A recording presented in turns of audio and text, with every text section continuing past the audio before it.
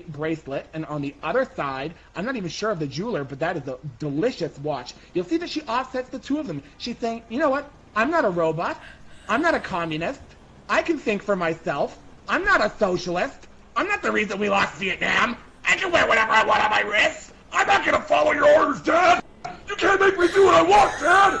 Um, and then you move up to her shirt. Her shirt is the latest 2016 model fuck tank top, which is a delicious choice.